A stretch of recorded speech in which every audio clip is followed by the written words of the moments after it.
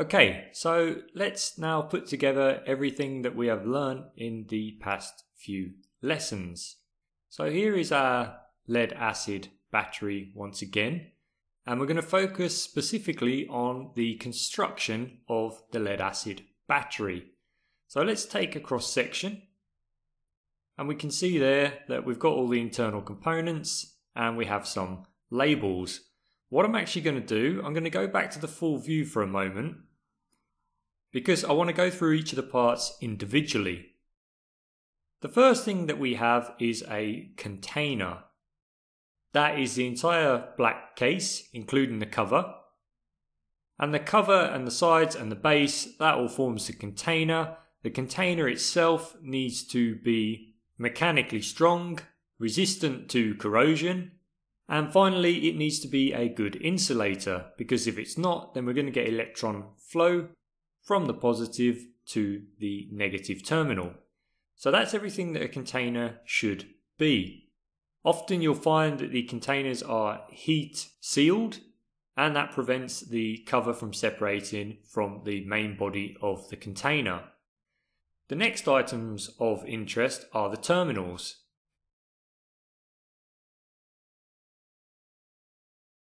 We have one terminal that is red and has a positive icon. That indicates that we have our positive terminal, also sometimes referred to as a positive post. On the opposite side of the container, we have a negative terminal, which is usually black in colour. Remember, wherever possible, try to use the icons to find out what the polarity at each of the terminals is. If you have a voltmeter, then that's fine. But if not, then use the icons rather than the colours, because the colours, depending upon where you live may sometimes change. This red and black colouring that we're using here may not always be the case. Sometimes there may be no colour indication on the battery terminals whatsoever. Notice that the battery terminals here, they have a very large cross-sectional area that allows us to connect the battery internal circuit to the external circuit and we allow the electrons to flow out of the battery. The thinner we have the conductor, the more heat we're going to generate on the conductor as the electrons flow out or as the amps are drawn out of the battery. So we want to have a relatively large conductor in order that the conductor doesn't become too hot. What would actually happen on this particular battery terminal, you can actually see that we have a hole here. So we can assume that a bolt would normally pass through there and we'd be able to clamp our connection directly onto the terminal using a nut and bolt. If you use a spring type washer, that also ensures that the nut does not come loose over time.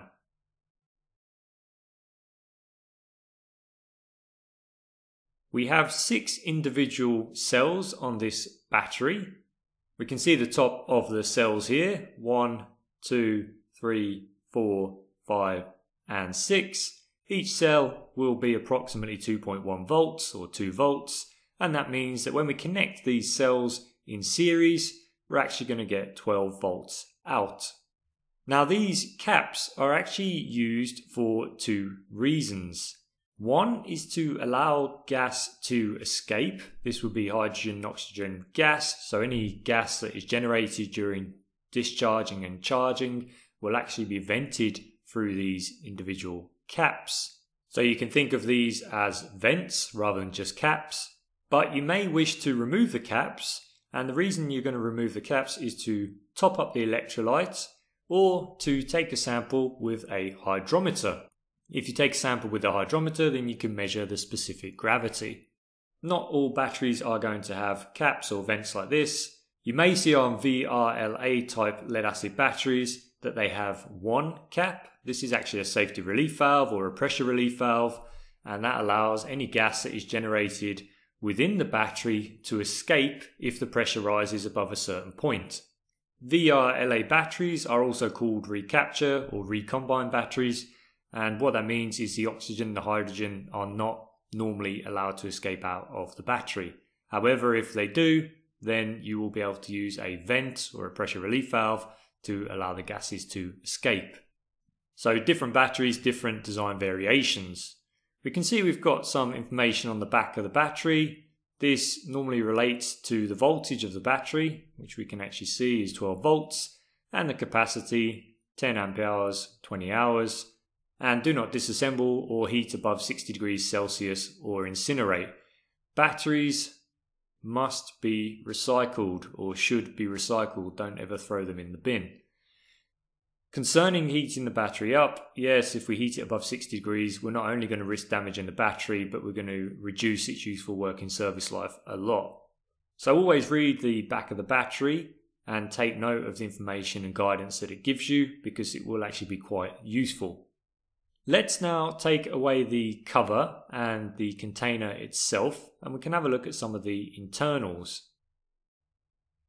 So now we can see we've still got our battery posts. We'll use those as reference points. So we've got our negative terminal here and our positive on the left. And we can also see that this battery is connected in series. So we've got our positive terminal here and we have our negative terminal here. And when we connect an external load, we're going to take the electrons from the positive terminal and allow them to flow to the negative terminal. We can see that the cells are joined in series. They're actually joined like so. So we'll add up all of those two voltages from each cell in order to get 12 volts. The items that join the cells together are called intercell connectors. That's these large conductor bars here. And you can actually see that they join some of the cells directly together and at the opposite end we're going to actually have one of these intercell connectors, for example, for the negative plates, and that will join to the positive plates here, and the negative plates here, positive plates there, and the negative plates on this one again. So that is how we will join all of the cells together using these intercell connectors. The negative plates are always on the outside of each cell. So this will be negative, positive, negative, positive, negative. The positive plates can be considered the working part of the battery, and that is why we always surround the positive plates with negative plates. That means in practice that there's always going to be one more negative plate than positive plate. Now let me just configure this now so we can have a look at one individual plate. So what we're actually looking at now are the positive plates.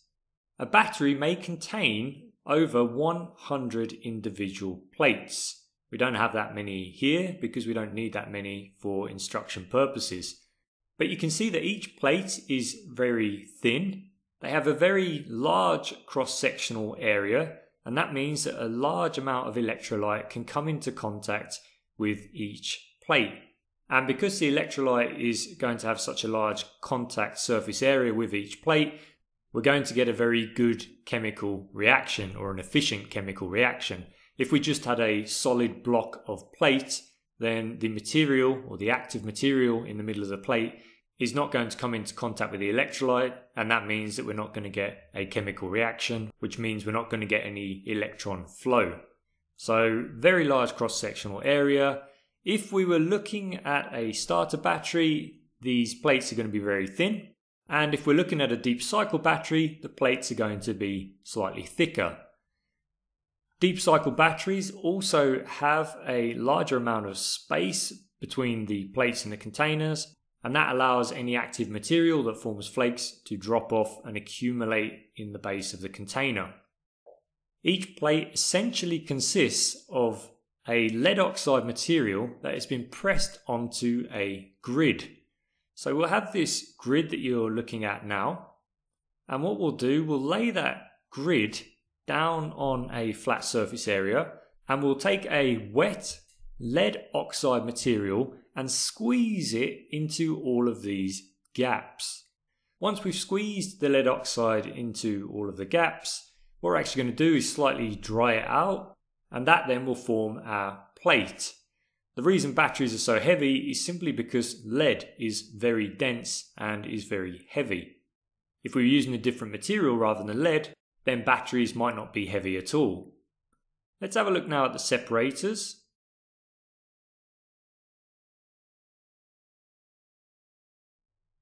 So you can see that we've got separators placed on either side of the positive plates. The separators are made of a porous material that allows the electrolyte to flow freely between the positive and negative plates. Let me add the negative plates again. So we can see that we've got a negative plate here, and another one here, another one here, and the positive plate sandwiched in the middle. But they're kept apart by the separators. So you can see negative plate, separator, positive plate, separator, negative plate, separator, positive plate, separator, negative plate. So always two negatives on the outside. So we're allowing the electrolyte to flow freely between the positive and negative plates. But we don't want the plates to join together because then we're going to get a short. So it's important we keep the plates separate, but not so far apart that we're going to hinder the chemical reaction. Now the electrolyte itself is going to be filled up to a level above the plates. The electrolyte is actually the only thing that we can't see. Let me just take the cross section. And we can see that the electrolyte will come above the plates up to approximately this level here. And that will ensure that the electrolyte comes into contact with the entire surface area of each plate, which will give us a very good chemical reaction, or at least a very efficient chemical reaction. If the plates are not completely submerged in electrolyte, then we are reducing the chemical reaction that can occur and thus we're reducing the capacity of the battery. The electrolyte itself, remember, is going to be a mixture of sulfuric acid and water, and roughly this mixture is going to be about 30 or 40% sulfuric acid, maybe 35%, and the other 65% is going to be water or H2O. So now you know exactly how a battery is constructed, you know all of the components involved, you know what each component does and the reasoning why. Remember there may be different variations depending on the type of lead acid battery that you are looking at, but many of these components are common to several designs of battery, particularly the electrodes, which are actually just the plates, and the electrolyte, which may be wet or dry. For some batteries, the container itself will form one of the electrodes, but these are generally much smaller batteries, such as a AA or a AAA battery. If you like this video and would like to see more engineering related tutorials, then check out some of the links in the video description area, and if you click on these links, you'll get a special discount price for all of our engineering video courses. If you want to support the channel, then please do like this video or share it on social media, really does help us out. You can also leave a comment in the comments section, and if you've got any questions, then please just ask, and I will try to respond to you within 48 hours. Thanks very much for your time.